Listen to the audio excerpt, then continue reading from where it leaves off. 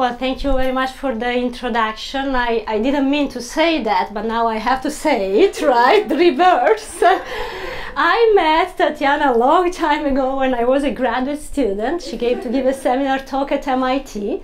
And at the, at the end of the talk, I thought, when I grow up, I want to be like that. and, I, and, I, told her from the very beginning, so she knows. And okay, in any case, well, uh, thank you very much, Tatiana, and for and Totti for the invitation. Um, and uh, so today I would like to talk about uh, viscosity approach to variational problems and uh, it's a pleasure for me to see so many young faces in the audience uh, and that means that I'll try to keep at least the first half of the talk comprehensible to a young audience. I'll try my best, but stop me and ask question if I go too fast.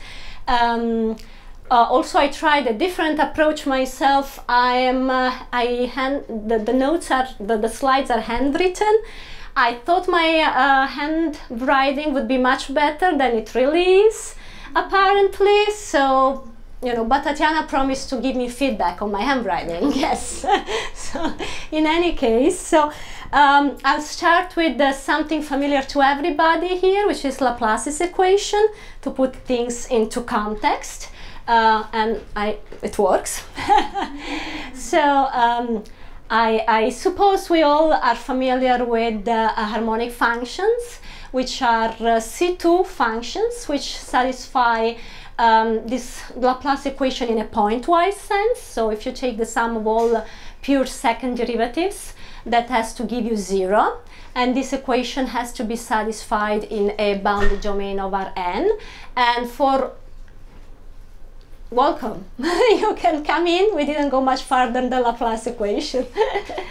and you can always think in my talk that this domain is the unit ball because everything that I say concerns the behavior of the function inside the domain. So I'm not really concerned about the actual shape of the domain and boundary values and so on. And uh, so I would say that one of the most important properties of harmonic function that we teach you in undergraduate classes is the maximum principle. And uh, it tells you that if your harmonic function is continuous up to the boundary and is non-negative on the boundary, then it has to be non-negative also inside, which is pretty amazing. Um, and what I want to do is I want to show you two different proofs of uh, this fact, which you probably have seen already, are the proofs that we give in a regular undergraduate PDE course. But from my point of view, let's say one proof is what stays behind the notion of viscosity solutions to Laplace's equation, and the other proof is what support the notion of uh, uh, variational or uh, weak solutions to Laplace's equation. So I want to show you both and that should explain somehow the title of my talk that I want to consider both viscosity approaches and the variational approaches to elliptic equations. So I'll start with the, the first proof uh, and that's something again it's a calculus proof basically um, what do I want to prove? I want to prove that my function doesn't have an interior minimum. It has to have a minimum because it's continuous up to the boundary and I don't want it to have an interior minimum because if the minimum is on the boundary and the function is positive on the boundary then it's going to be positive everywhere. Now at an interior mi minimum, here is my, let's see, okay, at an interior minimum a smooth function will have a non-negative Hessian and so also the Laplace has to be greater or equal than zero at an interior minimum. So if I were to know that the Laplace of u is strictly negative, I would be done. I could conclude that you cannot have an interior minimum. Now I don't know that. I know that the Laplace of u is equal to zero, but I can easily remedy that, so I can take away something from you, a small quadratic polynomial, this epsilon for me to choose, and so I can make this barrier v, I'm going to call this a barrier, which has Laplace strictly smaller than zero, right? So it cannot have, because of what I told you before, cannot have an interior minimum. It has to have a minimum on the boundary, okay? But the function u is on top of the function v, because the function v is u minus something, minus something positive. So the function u is on top of the values of v on the boundary, which is u on the boundary minus something, and u on the boundary is greater or equal than zero. So this means that my function is bigger than minus a constant epsilon for every epsilon. I let epsilon go to zero and I obtain what I wanted, that u is greater or equal than zero. So this is my first proof. And my first proof is really just concerned with the value of the function at one point. On the other hand, here is my second proof. My second proof takes advantage of the variational structure of the Laplace. So I'm going to write the Laplace of u as the divergence of the gradient of u. So saying the Laplace of u is zero, it's equivalent to saying by integration by parts, if I integrate times a test function phi, which is compact, compactly supported in omega, then I must have gradient of u dot gradient of phi integrates to zero. Okay? So my job is just to take the right test function sort of to violate the possibility that u is not, not greater or equal than zero. And so I'm going to choose as a test function u minus, the minimum between u and zero. I'm going to plug it inside this equation and what I obtain is that the integral of a quantity which is greater or equal than zero has to be zero. So that quantity should be zero. So the gradient of u minus should be zero. u minus should be constant.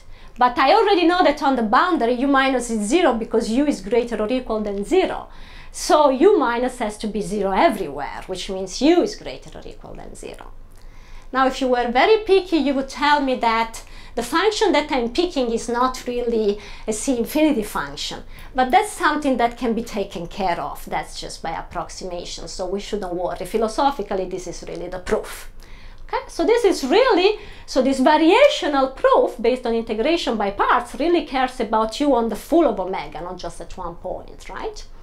And so, let's see what I want to tell you next is that well, I gave you the proof for Laplace equation, but we can think that these two proofs can be easily extended to more general elliptic operators. So what do I mean by elliptic operators? So if I have a matrix A, which is comparable to the identity, so it's bounded below and above by a multiple of the identity with these two constants, which we typically call the ellipticity constants, then the first proof I can just up to changing that quadratic polynomial, I can make it work also for equation in non-divergence form, equations like trace of a d square of u equal to zero, okay? While the second proof really can be extended to equation in divergence form, equation of the form divergence of a gradient of u equals zero, okay? So the first proof is what's going to inspire my definition, my notion of viscosity solution for uniformly elliptic equations, and the second proof will inspire the notion of weak solution. Now, once again, you could tell me that if the matrix A is smooth enough, I can open this up, I can compute the divergence, and this equation becomes an equation in non-divergence form, right? So I could somehow say that the first proof is a little bit more general than the second proof? Well, I would be cheating because what I really want to do in the future is I do not want to have coefficients which are smooth and for which I can open up this divergence. And also if I want to deal with systems, then I really cannot say that the first proof is stronger than the second, but that's a different, um, that's a different consideration. In any case, let's focus on the first notion that I want to introduce, that is the notion of viscosity solution. So what does it mean that a function u is a viscosity solution? You can think Laplace equation for this L. It's easier for me to say. It's a viscosity solution to Laplace's equation. So I'm just writing down the notion of subsolution and then you can come up with the notion of supersolution yourself once that I write this. Um, and then anything which is both a subsolution and a supersolution is automatically a solution. So my notion, which should resemble what happened a little bit in the first proof, is that if I have a continuous function, so my function just has to be continuous, and then I take a point x0 where the function u has on top a function phi which is smooth, is C2, and the two touch at the point x0, they coincide at the point x0, then, I don't know about you, but the Laplace of phi has to be greater or equal than zero. Okay, so it's like what I'm asking, I would like to ask for u, I can't, u doesn't have two derivatives, I will ask it of the function phi. Okay, and so I have a picture here which shows exactly what has to happen at points where I have a smooth function touching my u by above, and the orange thing here is your definition of super solution. I have something touching the function u by below and at that point, at the touching point, the L of psi has to be smaller or equal than zero. Okay? So this is my notion of viscosity solution, which once again only requires your function u to be continuous. Now, if I want to write down the notion of weak solution, uh, or what I said, variational solution, then I have to integrate by parts.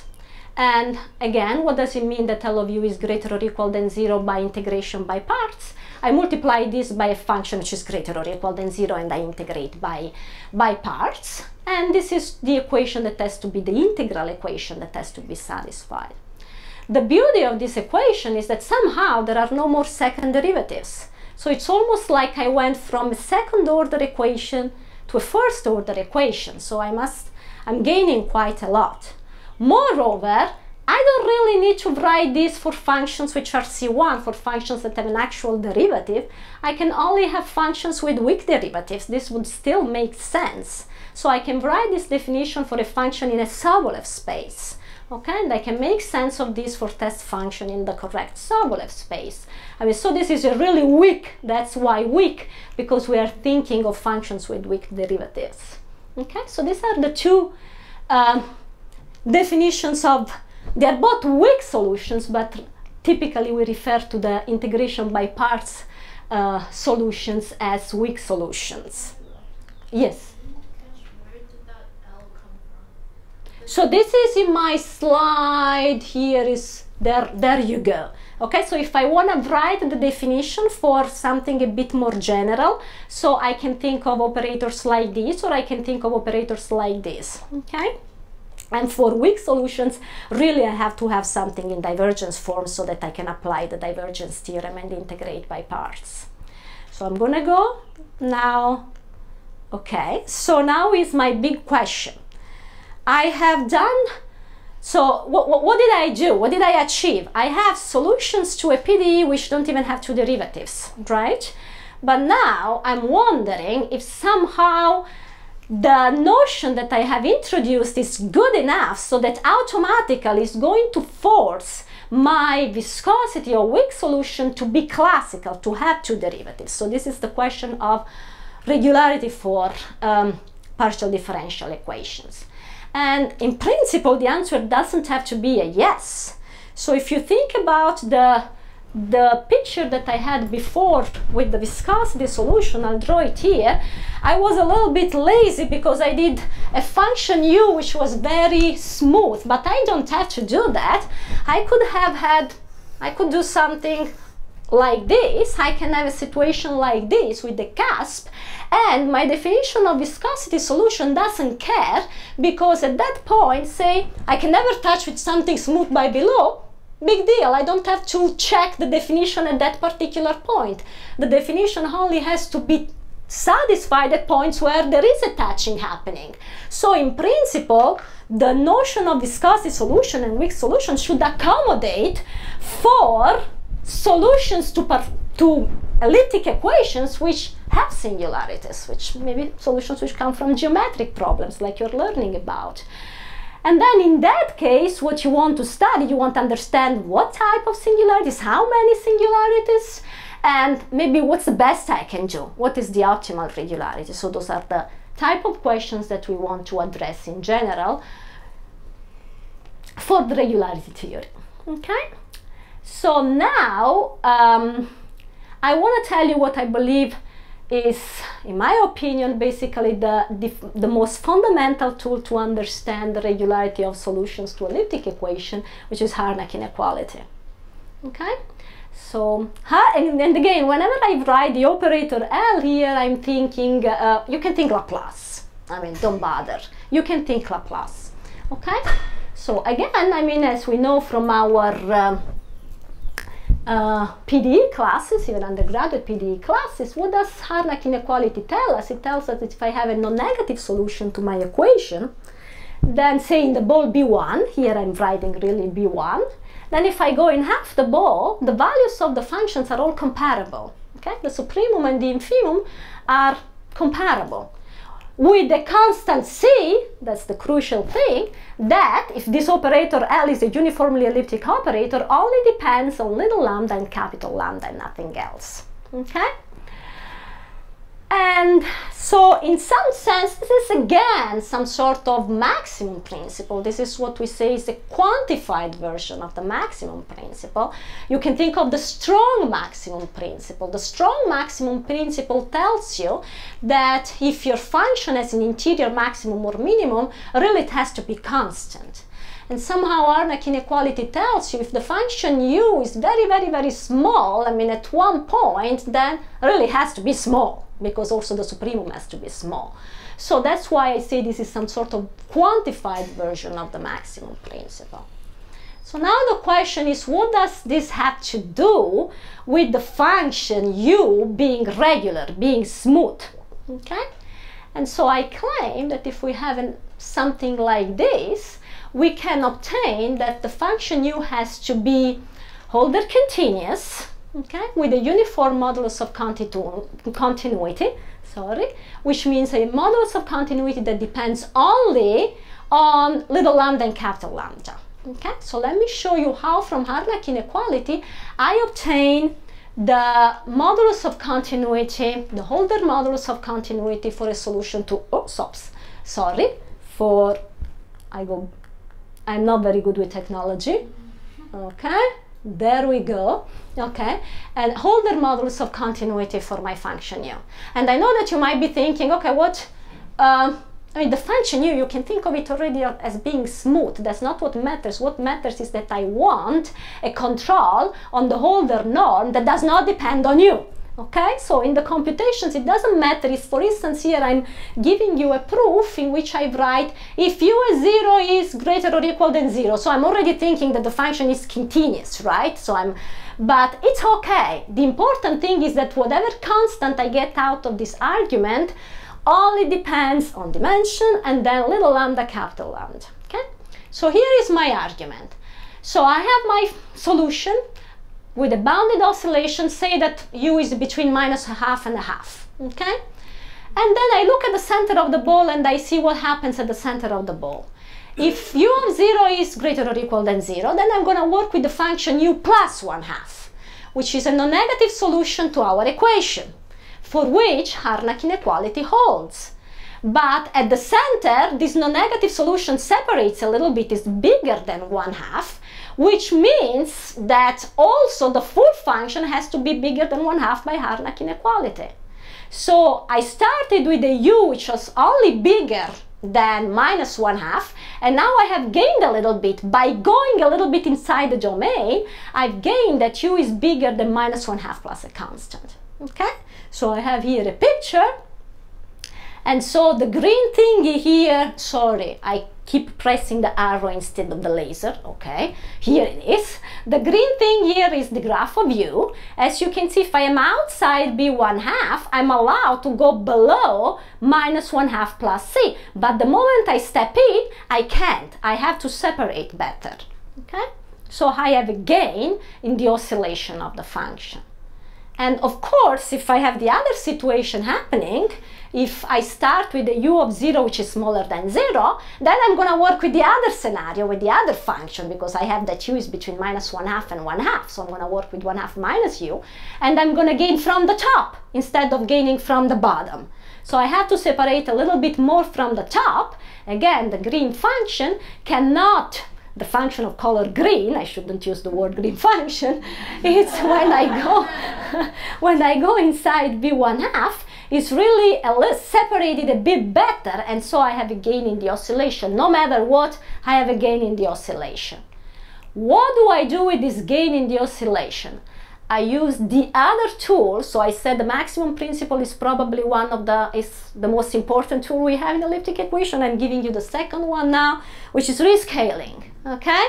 So I have an information in the ball of radius 1 half, where the oscillation of my function was smaller than 1 minus c, I'm going to rescale that to the unit ball, okay? And this is still a solution to my equation. So here is my rescaling of 1 half. I also divide it by 1 minus c so that I put myself precisely in the same situation as before with the function u tilde, which has oscillation bounded by 1, and it's a solution to my equation. So I just at the exact same conclusion, the oscillation has to be smaller than 1 minus c. Okay? So what? Well, now I unravel my rescaling and I find that in the ball of radius a quarter, I have an oscillation bounded by 1 minus c to the power 2. And now you can see where I'm going because I can repeat this forever. I can go on forever and ever. And so in every dyadic ball, I get a control of the oscillation with u minus c to the power k for every k. So I've got my modulus of continuity, my Hölder modulus of continuity at the origin. And now you say, why? Well, you did it at the origin. Well, I'm just, instead of looking at zero, I'm going to look at any point in the ball B1 half. I have to make sure that when I go in the ball B1 half, I'm still in B1. So everywhere in B1 half, I can do this game. I can play this game. And I get my bound on the Holder norm of my solution to the elliptic equation, which with a bound that depends only on the constant from Harnack inequality. Now, the beautiful thing, so this is Holder continuity, and you might think, ah, that continuity, I didn't get enough. Well, the beautiful thing is think Laplace equation, think a linear equation. I can bootstrap this using discrete differences, for example. So this is still a solution to my equation. This one will have Holder modulus of continuity. Well, this means that basically this gives me a C1 alpha estimate, gives me a Holder estimate for the derivative. Okay, so if I have a linear equation, well, I have to be a little bit careful with the regularity of the coefficient, but I can bootstrap this all the way to C infinity in principle. Okay, so not only Harnack inequality gives me the first fundamental step, which is the Holder continuity, not the Holder continuity, but the uniform control on the Holder norm, but I can also bootstrap that. Okay, okay, so now I'll drink a little bit of water and I'll tell you the rest of the story. So this is all classic and so you might be wondering, so where is my contribution?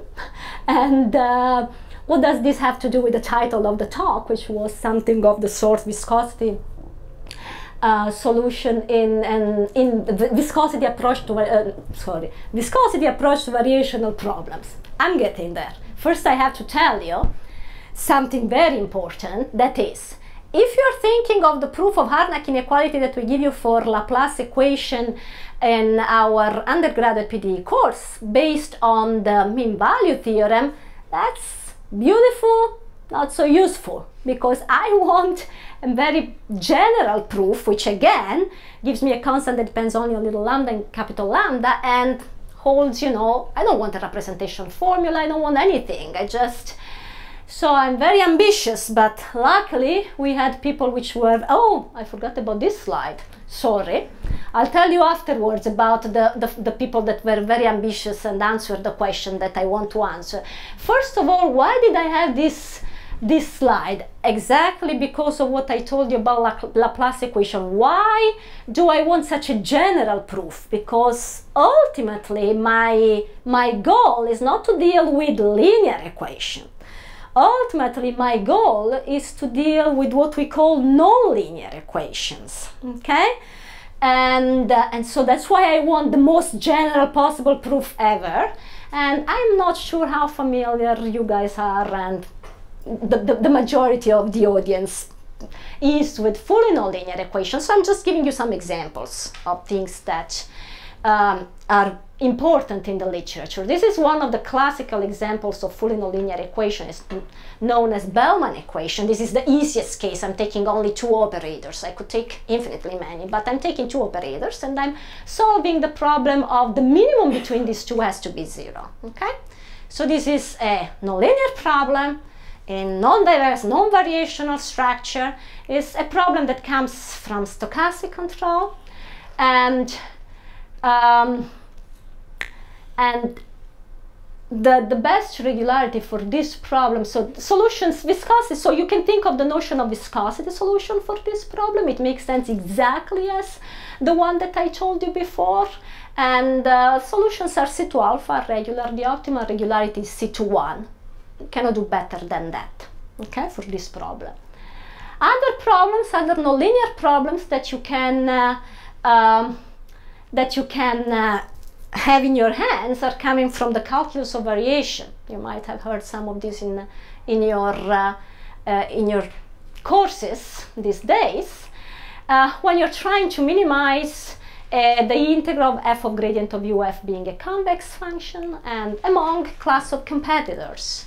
And one of uh, Hilbert's problems, 19th problems of Hilbert was exactly about the smoothness of solutions to uh, regular problems in the calculus of variation okay?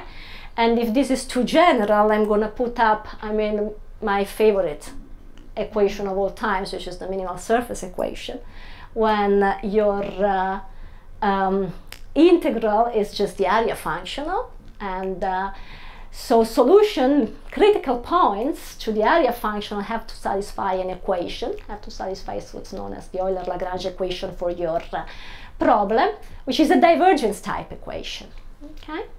And it's a nonlinear problem. And even if you try to pass the divergence, what you get is an equation in non-divergence form, but the coefficients of the equation depend on the gradient. So it's an ugly equation if you want. And in fact, it's only uniformly elliptic once you know that your solution is Lipschitz. So it's rather complicated, but Lipschitz continuity actually in most of these problems can be obtained from the boundary data. So that's not the, the issue. The issue is what happens afterwards. Is the solution better? And this open up basically, this is one of the most beautiful regularity theory, in my opinion, in elliptic PDEs. Okay, so if we want to encompass all these different problems for which the notions of viscosity solution or weak solution make sense, but they are way more complicated. I don't have linearity anymore.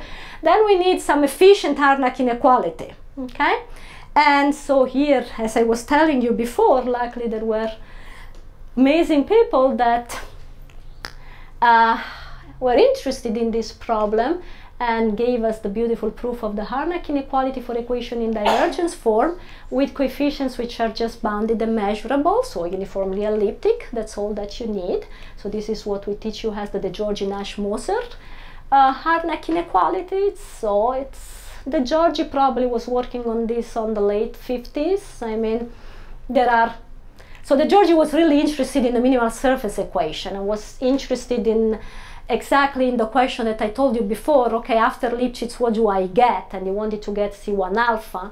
And, uh, and so basically that's what he did. And Nash was looking already at the parabolic problem, and Moser then gave his final contribution and really formulated the Harnack uh, inequality. So this is uh, breakthrough results of the late 50s, early 60s. And one of the tools is a variational proof. The tool uh, the crucial tool is what's known as Caccioppoli inequality. And it's a difficult proof if you have seen it. Uh, beautiful iteration scheme based on Caccioppoli inequality. For uh, the non-divergence form equation, so for fully nonlinear, we had to wait um, much longer. So this, the proof came at the end of the 70s, beginning of the 80s, due to Krylov and Safonov. And the crucial ingredient in this proof is what's known as Alexandrov Bakelman Pucci estimate. I don't want to put it down because it's not as friendly as the Caccioppoli inequality that I wrote before. Um, and when I write this, of course, you might tell me that I don't know how to make sense of this equation if the coefficients are just measurable. And you told me that viscosity solution, I have to touch with something, so I have to evaluate things at a point.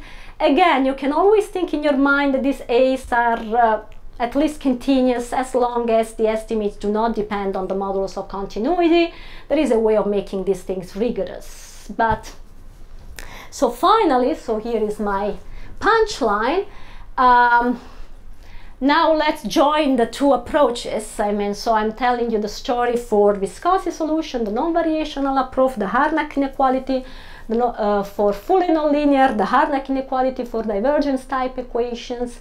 And so this is uh, the contribution that I wanted to tell you about and which will allow us to use some sort of viscosity technique for problems that are purely variational. And it's some sort of Harnack inequality for functions that they don't even satisfy an equation, in fact, okay? But basically have some sort of two-scale behavior. And up to a certain scale, they satisfy, when I write satisfy an equation here, what I really have in mind is comparison with test functions, with nice test function like the parabolas that I have on the blackboard. So that's what it means, the quotation mark here when I say satisfy an equation is more I should write satisfy comparison with test functions which are nice. And then at a scalar zero, they have some sort of density estimate, they satisfy some sort of density, density estimates. And I will make this a little bit more precise hopefully, because I may be a bit behind schedule. But I want to give you a motivation for this. Otherwise, it seems like what problems in PDE would give rise to something which has this sort of behavior. Because if there is no example why do you care about it right? So before I tell you about what it means to satisfy an equation up to a certain scale have density property up to another scale and I want to give you some motivation for this notion of solution which is not really a solution okay? Um, and this is a joint work with Ovidiu Savin. So here is my motivation. I'm going back to the minimal surface equation. This time I'm formulating it in a little bit of a more general setting because the equation I wrote before was for graphs. But if I want to look at things which are not graph, then the one way of understanding a minimal surface is like the perimeter of a set okay so it's like the boundary of a set which minimizes sorry it's the boundary of a set which minimizes the perimeter.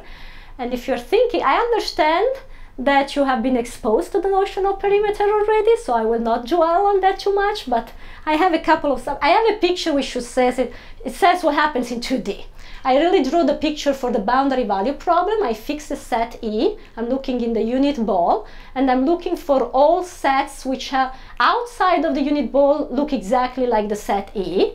And then inside minimize the perimeter, which would be just a length. So if I want to minimize the length, I better take the straight line between this point and this point. So I know exactly how to draw the picture in 2D. Okay, so that's the notion that I have in mind. So that's my minimal surface, is the boundary of E. And so here in the next slide, I'm telling you, it because I was not sure that you had seen the perimeter functional, I said, well, just think everything is smooth, and this is really the area of the boundary of the H minus 1 measure of the boundary of E. Okay? So if I formulate the minimal surface equation like this, then what's the, what's the equation associated to this variational problem, right? The Euler-Lagrange equation. Well, it's going to tell you that the mean curvature of the boundary has to be zero and has to be satisfied in some sort of viscosity sense. But there is an equation associated to my variational problem. Okay? Now, suppose that I want to put it right hand side. Suppose that I want to look basically at the prescribed mean curvature, not mean curvature, zero prescribed mean curvature. So I'm going to minimize a functional, which is perimeter plus this integral, the integral of f over e. And this is going to be my associated equation, where you can see I have f restricted to the boundary of E. And in writing that, I'm thinking f is smooth. If f is in an LP space, I can't really make sense of this. So if f is in LP over n, I cannot write f restricted to the boundary of E.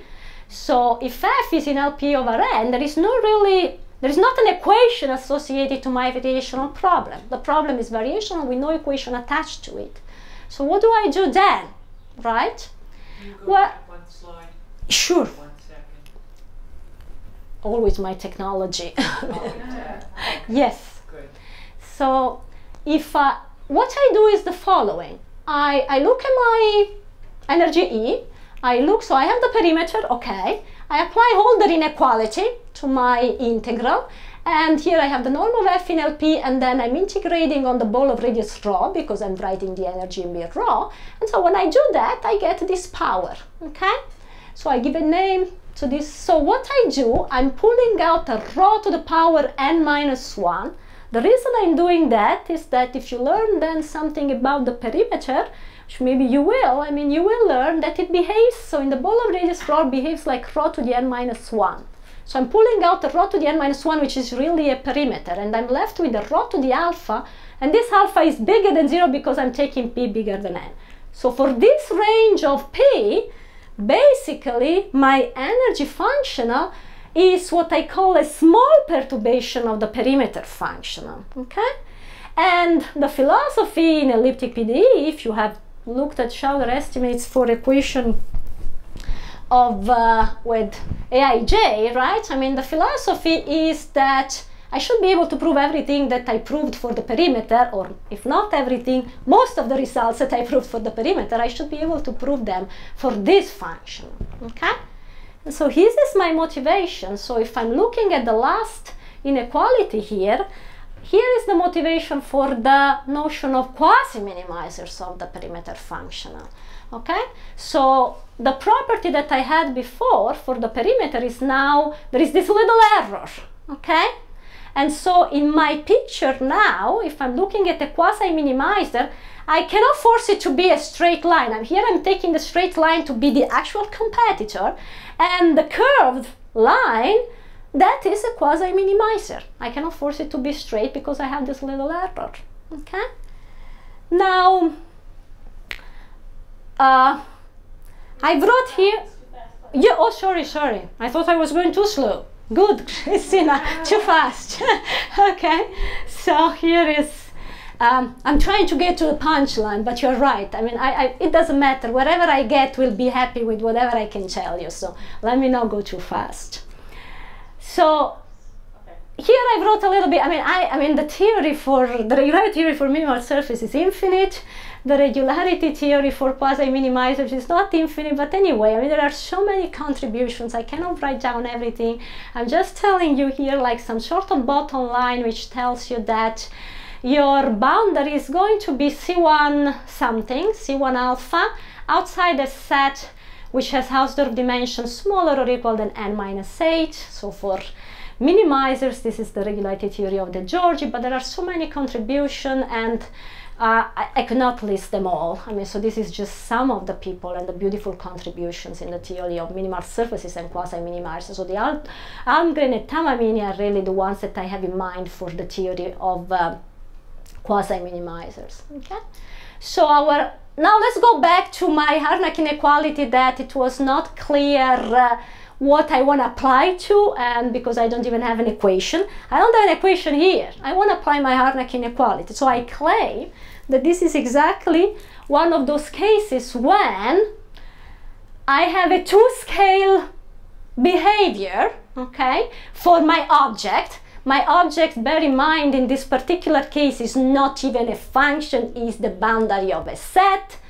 But let's be flexible, so I could write my Harnack inequality in a very, very general setting.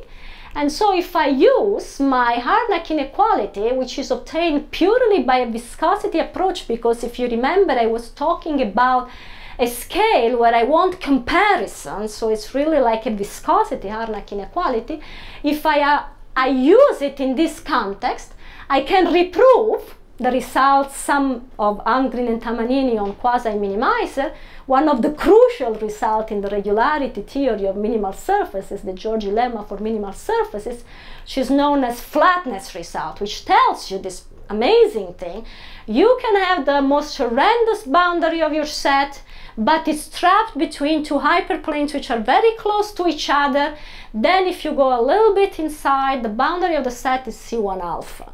Okay, so it's just like some magic happens, and from flatness you obtain regularity. Okay, and this is one of the crucial barriers, right? for for for my particular proof. Yeah, my particular proof is is based on yeah on on a viscosity approach. not the original proof. So this is this is not like a new result, but it gives a different variational approach because we had some applications in mind. But this is a classical example to keep in mind. Now, what do I want to tell you? Finally, I want to tell you maybe a little bit in the general picture what uh, what it means that this function u has this two scale behavior. So I try to spell it out here, which might make it a little bit heavy to understand. So just let's look at the at the picture. So I'm writing U is a super solution. There is no equation, but I need a terminology. So I'm saying that U is a super solution. It cannot be touched by below. And this is the crucial thing. Cannot be touched by below by what? First of all, by a paraboloid. It's fine. Also in that case, I can take paraboloid, but this is a very special family of paraboloids and I only need this family of paraboloids, nothing else. Moreover, the touching is in a neighborhood of size R0. Typically, when you have a touching proof, you don't care about the size of the neighborhood. You just say the touching, like the one that I have in my picture on the board. I mean, I just say, I cannot touch by below with something with the wrong sign, right? I mean, which has a Laplace with the wrong sign. Touching how big a neighborhood, I don't care typically. But here, we really want that the picture here in red cannot happen because the touching would be happening in something of size R0, okay? So that's what it means to be a super solution. There is some, some other technicalities, but, and in some sense, this capital lambda, which I'm writing here and I'm saying is given, you can think of it as the ellipticity of your problem. So these are elliptic problems that we're dealing with, all the problems to which we can apply this strategy. So this is like incorporating the ellipticity of your problem, okay? So here is the second property. The second property, which I call density estimate, cheating a little bit, but is telling you something like this. So suppose that your function says non-negative, okay, in a ball, and at one point it drops below the value a, okay? Then I'm claiming that when you go in half the ball, then the measure of the set where u drops below a constant times a is pretty big. It's a fixed portion of the full ball, okay? So basically in my picture, the measure, the proportion is this green thing, okay? The green thing is where U is below MA, the ma and I want this to be large enough, like 75% maybe more, 80% of the whole thing, okay? So if I have this property, now what about the M? Well, the M actually in general, in reality, in all the application will depend on the lambda in reality. So lambda is really the main guy. Lambda is what incorporates the ellipticity. M will depend, in fact, in the applications from the lambda. Okay? All right, so this, so now I think um, I have to give you some more concrete examples in which I can apply. So I claim that there is some sort of Harnack inequality for functions with this two-scale behavior, right? And so I have here some applications. I have, so the easiest application is to discrete equations, Harnack inequality for discrete equation. Oh, that's so nice of you, Betul. Thank you. And I will take advantage right away. So Harnack inequality for discrete equation is known by the work of Hunju and Trudinger, um, but is one of the first application of our result. I mean, other equations that somehow exhibit, for which solutions to this equation exhibited to scale behavior are no local equations when of order s when s is very close to 2. So with our Harnack inequality, we recover the results of Caffarelli and Silvestre for non-local equations. Probably we can apply them to what's known as non-local minimal surfaces. I don't expect everybody to be familiar with non-local equations, so I will avoid that particular example homogenization and of course quasi-minimizers that I already mentioned before. So what I would like to do, because the simplest model is the discrete equation, I would really like to show you how to pick R0 for one particular example. Quasi-minimizers are a little bit tricky, so let's do it. Although my motivation was here, uh, let's do the computation. For this one, I can really show you the computation. So let's see it, because otherwise it's not clear what's happening. So here is my computation for the discrete equation. I'm taking the easiest possible discrete equation that I can take, where the second uh, discrete differences are computing along the axis, only in the i direction. So these are my second discrete derivatives, okay? So I have this equation with uh, coefficients which are uniformly bounded by something which I'm calling lambda min and lambda max. And I'm saying that I can apply our theorem to conclude that solutions will be Hölder continuous once I step a little bit inside with universal modulus of continuity. And what I want to show you is how do I pick these guys. The lambda, which you should imagine should be related to this lambda min and lambda max because I claimed that lambda is what gives the ellipticity of the problem, right? R0 and this n. So here is like the explicit computation in this very simple model case. So I want to find R0. I claim already from the beginning that R0 is 2 epsilon. I could have taken also 3 quarter and no, maybe not epsilon plus a little bit, but 2 epsilon is nicer and it's, I'm thinking of more general discrete equation. So I'm claiming that 2 epsilon is going to be the size R0. So let's say that at 0, I assume that I do have a polynomial which touches my function u at zero in the full ball of size R0, okay? And what happens then?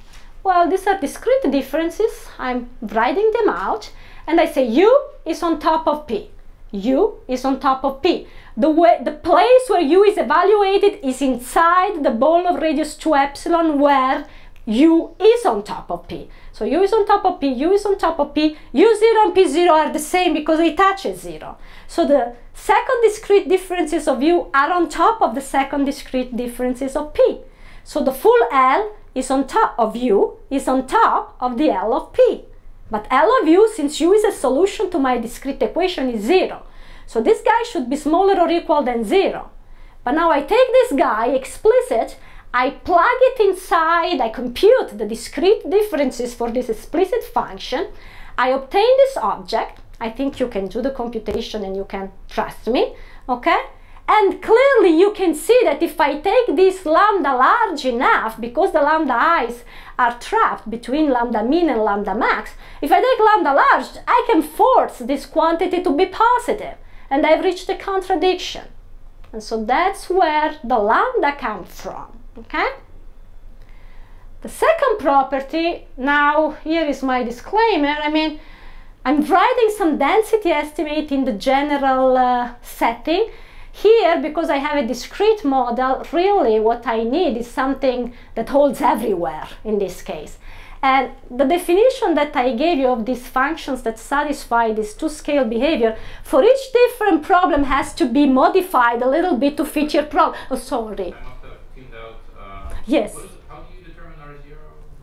So, well, I chose it to be 2 epsilon. I could have chosen anything so to make sure that this guy here is on top of this. And I know that I have control. Now, so a little bit bigger than epsilon would have been enough, but in this is because I'm moving along the EI direction. If I had a more general discrete equation, probably I would need a little bit more room, and 2 epsilon would do for the general case. So for these guys, so where I want something now really to hold everywhere, so the property that I have to verify is that if at one point I drop below, I'm taking A to be 1, I'm dropping below 1, in a full neighborhood, I really have to drop below 1, in the full neighborhood, I mean point-wise, because I have a discrete setting. So I say, okay, let me use again the equation. I know that L of u is 0 at 0, let me plug it in and now I use that u is positive and that at one point drops below 1, so minus 2, this should be a 2 actually, is bigger than minus 2. So very simple-minded, I have this bound which tells me that the value of u at epsilon ei is controlled by some constant. Let me not write explicitly, okay? But if I now do this in a neighborhood of size, let's say k, I obtain that in the full neighborhood u is controlled by a constant. how big a neighborhood do I want? Be to have the two-scale behavior, I want a neighborhood of size comparable to R0. And how comparable how? With the constant that depends on lambda that comes from the Harnack inequality. So I'm, I'm gonna choose this constant so that my Harnack inequality applies. And this constant is going to tell me how much u has dropped. So it's gonna tell me, it's gonna tell me what m is. So that's why I told you in the applications in reality, the m comes out of your problem. The lambda comes out of the problem, but the m depends on lambda most generally. Okay? So this is the only reason. So I have five minutes, so I doubt that I can give you the proof for quasi-minimizers. So I had it. I have here, just out of curiosity, I just tell you since I, this is a, the boundary of a set, what do I mean by this touching, right, property? And so I have here what the property that I would like to prove in this setting is that the boundary of E cannot be touched by something nice, xn equals a quadratic polynomial. So my lambda in this case is 2n. That's what it is, okay? And the size of the neighborhood i mean the, the gap the interesting thing in this notion is what what i really matter about is i have a, a the the size rho of the neighborhood where the touching cannot occur depends on the test function so that's the type of uh, notion of viscosity solution that I have in this setting. That the neighborhood where I don't want the touching actually depends on the function that I don't want to touch my boundary with. So it's rather intricate, so I'll just go. Yes, Robin, sorry. So, below right now, so So I have a picture, why don't... So I have the set, Okay, and I have outside of the set? Yes, that's yeah. That's so it's a kind of- a bad term, but that's what I mean. Really, the this this is the good. So this is what I don't want.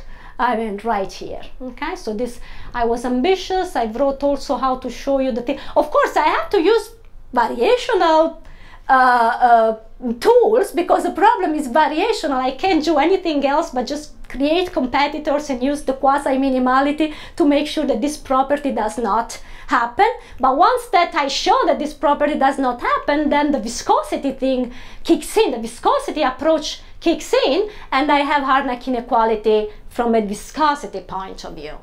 So I had this beautiful picture, but forget about the whole proof. I don't know if there was anything else that I wanted to tell you. Very, very ambitious.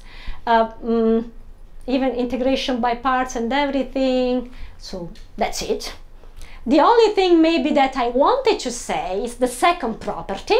The second property is a little tricky and really holds basically when we are in the flatness regime. Remember, I want to apply this to prove that a flat quasi-minimizer is going to be smooth. So if I put myself in the flatness regime, so the scale of the neighborhood is really given by your flatness. That's what this, so the epsilon zero, the, sorry, R zero, in this case, you do not see it so much in the touching. It does, in the touching, what you see is the fact that the size of the neighborhood depends on your comparison functions but the R0 you see it basically in the second property when you're trying to prove this sort of density let's say and it has to be given it's given to you by the flatness regime. That's what gives you the R0 it's a little bit complicated so I can't say much. Let's see if I had I had some further applications that I thought Tatiana would love. I mean so I just put them down. I mean there are applications to free boundary problems but I don't really don't have the time. I mean Tatiana has some beautiful results and contributions. She can teach you more about this in this um, in this direction and so I, I don't have time to tell you any of this. Our purpose for looking at this was mostly motivated by non-local free boundary problems, so even more complicated, and I don't have time. The only time I have time for is to tell you thank you, and that's it.